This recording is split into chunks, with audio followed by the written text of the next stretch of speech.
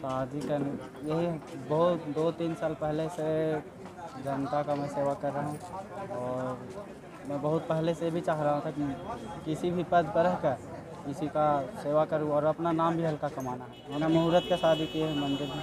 पहले से जान पहचान नहीं सर ऐसा कुछ भी नहीं था सर। नमस्कार, मेरा नाम प्रकाश है। आप टुडे बिहार न्यूज़ देख रहे हैं। बिहार में चुनाव लड़ने और जीतने के लिए लोग क्या क्या नहीं कर जाते हैं। एक ऐसा ही मामला सामने आया है बिहार के गया से, जिसकी चर्चा खूब हो रही है। गया में एक युवक ने मुखिया बनने के लिए बिना लग्न और बैंड बाजे के ही शादी कर ली और अपनी नई नवेली पत्नी को चुनावी मैदान में उतार दिया। अब आपको खबर विस्तार से बताते हैं पूरा मामला। गया के खिजर सराय प्रखंड के होरमा पंचायत की है। राहुल नाम के युवक का जाति सर्टिफिकेट किसी तकनीकी वजह से नहीं बना तो बिना लग्न के ही उसने पास के गाँव की एक लड़की के साथ बिना बैंड बाजा और बिना लगन के मंदिर में सात फेरे ले लिए। साथ ही लड़की को विदा कराकर अपने घर भी ले आया। इस लड़की का जाति प्रमाण पत्र पहले से ही है। सात फेरे लेने के बाद उसने कहा कि हम न सही, हमारी पत्नी ही चुनाव लड़ेगी। अब वही चुनाव लड़ेगी और उसे हम जीत का सेहरा भी पहनाएँगे। देखिए, तस्वीरें आपको दिखा रहे हैं। ना लग्न, ना बैंड बाजा मंदिर में सात फेरे चुनाव लड़ने के लिए और अपने पत्नी को चुनावी मैदान में उतार दिया है। क्या कुछ कह रहा है युवक? और उसकी पत्नी, जरा आप सुनिए। शादी कर यही बहुत, दो तीन साल पहले से जनता का मैं सेवा कर रहा हूँ और मैं बहुत पहले से भी चाह रहा था कि किसी भी पद पर रहकर किसी का सेवा करूँ और अपना नाम भी हल्का कमाना है। मुझे कोई चार जाने और क्या ज़रूरत पड़ गई जो बिना मुहूर्त का शादी करना पड़ गया? क्या रद्द हो गया? पूरा बताइएगा शुरू से बताइए कैसे क्या? तीन साल पहले से इलेक्शन का तैयारी कर रहे हैं सर।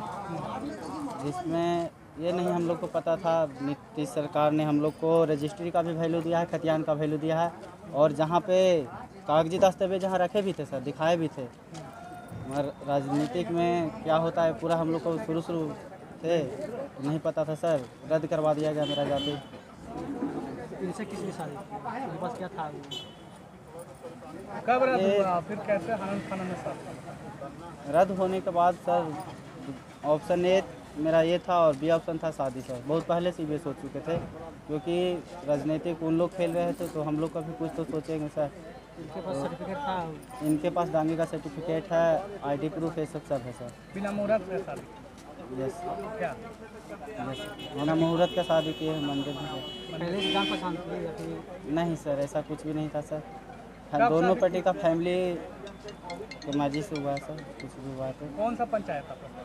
मेरा होरमा है सर इनका नोडिया पंचायत है सर। किधर से है पता किस पंचायत से चुनाव किधर से नहीं पड़ता है सर।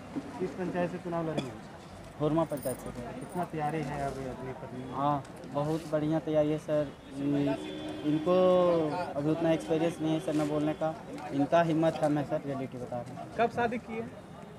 छः तारीख आपने के मुखिया लगी लड़के?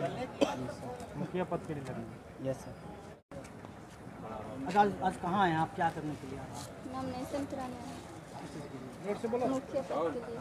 कौन सा काम पंचायत। आज से एक दिन, दो दिन पहले तो पता नहीं था कि नामांकन करेंगे। आज अचानक कैसे हुआ? तो बिहार में चुनाव लड़ने के लिए लोग क्या क्या नहीं कर जाते हैं, इन तस्वीरों को देखकर आप समझ चुके होंगे।